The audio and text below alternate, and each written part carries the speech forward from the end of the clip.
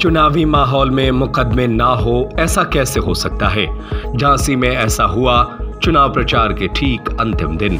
जब इंडिया गठबंधन से चुनाव लड़ रहे कांग्रेस के प्रदीप जैन आदित्य पर झांसी के शहर कोतवाली में मुकदमा दर्ज किया गया।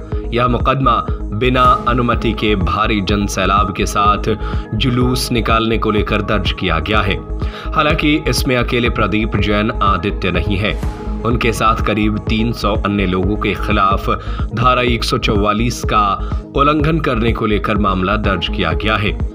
कल प्रदीप जैन, आदित्य ने सपा नेता चंद्रपाल सिंह यादव के साथ मुरली मनोहर मंदिर में भगवान के दर्शनों के बाद अपने सैकड़ों समर्थकों के साथ शहर क्षेत्र में जुलूस निकाला था, जिसके बाद उड़न दस्ता प्रभारी ललित कुमार ने कोतवाली में शिकायती पत्र देकर आचार संहिता का उल्लंघन करने की शिकायत की थी, जिस पर देर शाम सूचना मिली कि प्रदीप जैन के साथ उनकी रैली में शामिल होने वाले लोगों के खिलाफ मुकदमा दर्ज किया गया है।